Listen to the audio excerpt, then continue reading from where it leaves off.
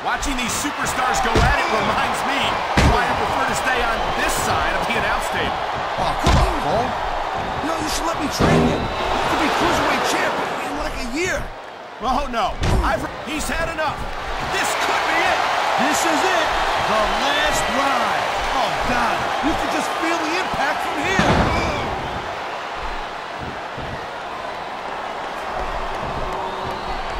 Man, I almost feel bad for JR and King, Cole. Uh-oh. You know what's coming next, Cole.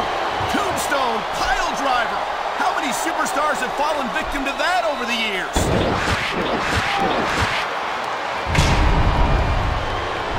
He's going for the pin, Cole. One, two, three.